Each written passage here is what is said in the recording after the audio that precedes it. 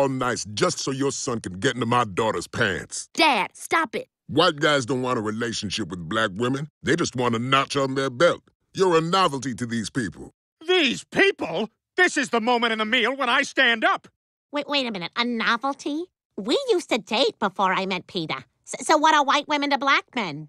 A very pleasant page in our memory books. Aw. Oh, yeah, that's right. You banged my wife.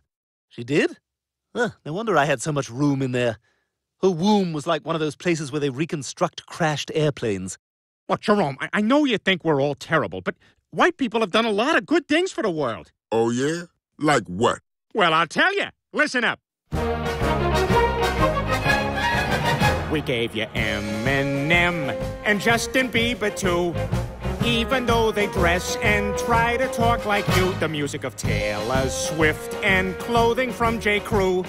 And Jon Heder, also half of Derek Jeter. Add to that a fleet of soccer moms packed into their yoga tights. And so, for all this awesome, neat, wonderful stuff, you know you don't thank the Lord, you thank the whites.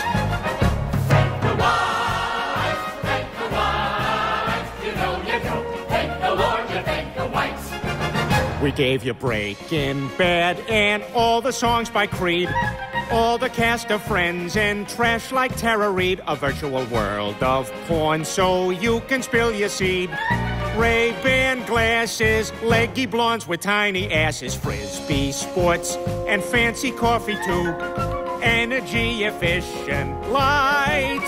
So for all this awesome, neat, wonderful stuff, you know you don't thank the Lord, you thank the whites. Thank the whites, thank the whites, you know you don't thank the Lord, you thank the whites.